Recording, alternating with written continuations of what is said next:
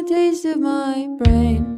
Okay, it's yours anyway. A bite of my eye. Alright, I won't put up a fight. How about today? You try eating someone else for a change. Because the way things are going, I won't last another day.